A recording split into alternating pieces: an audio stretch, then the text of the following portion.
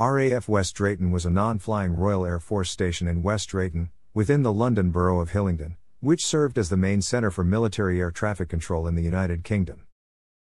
It was co located with the civilian London Air Traffic Control Centre to provide a vital link between civil and military flying and airspace requirements. Following the departure of the remaining civil and military air traffic control systems by 2008, the site was closed and demolished for a new residential development. View across the site The station was used to house 700 athletes competing at the 1948 Summer Olympics in London, together with RAF Uxbridge and Richmond. The station became a unit of No. 11 Group RAF in January 1965. RAF West Drayton was also the home of the linesman system, hence the main operations building being known as the L1. The system used Link 1 to exchange air defense data between the UK and Europe. There were links to continental early warning sites at Reitan, Norway, Maakeroy, Vaedbek, Neuve Milligen, Glons, and Doullens. Aerospace system operators were responsible for the tracking and identification of every flight, military and civil, that entered or left the UK air defense region. This was a labor intensive task in the days before automatic initiation and tracking systems, but a big improvement on the plotting table and small perspex plaques with information written on them. The School of Fighter Control continued to teach plotting and writing backwards until 1990. The School of Fighter Control moved to RAF West Drayton from RAF Bawdsey, training junior officers to be fighter controllers. In addition to teaching RAF officers, foreign and Commonwealth students also attended, and there was even one course of Yugoslavian MiG pilots.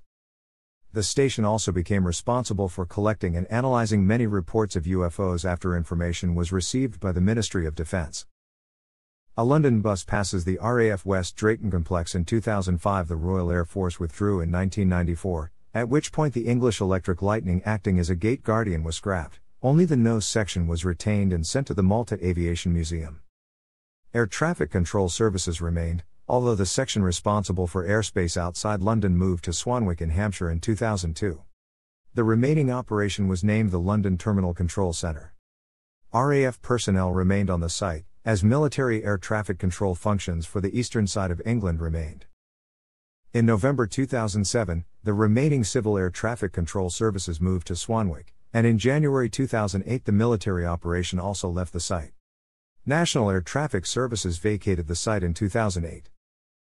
The Mount section of the Queen's Colour Squadron relocated to RAF Northolt. Plans for 773 homes, a nursing home, shops, and offices were approved by the London Borough of Hillingdon in July 2010. Inland Homes named the new development Drayton Garden Village, aiming to create a 1930 style village. Demolition work was carried out between 2010 and 2011.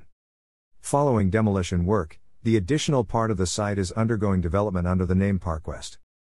The Drayton Garden Village development opened officially on October 21, 2011, with a ceremony led by the Mayor of Hillingdon. Thanks for watching.